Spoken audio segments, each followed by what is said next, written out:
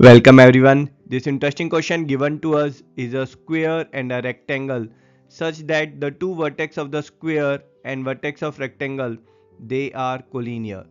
Given is angle between the diagonal of the rectangle and the side length of rectangle is 20 degree.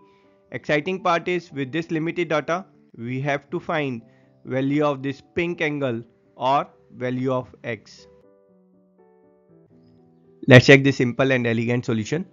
We know that all the angles of a square are of 90 degree, that of rectangle are also 90 degrees.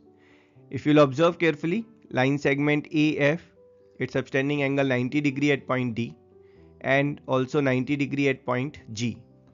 And by theorem, if a line segment is subtending same angle at different points, then those points and the end points of the line segment, they are cyclic. So we can draw a circle passing through point G, F, A and D. Now as this yellow figure is a cyclic quadrilateral, thus the opposite angles will be supplementary. Angle A plus angle G will be 180. Angle A, it comprises of angle DAG and angle GAF. Angle G, it is made up of angle X and 90 degree and their sum is 180. Angle DAG that's the angle between the side of a square and diagonal of a square and thus it's 45 degree.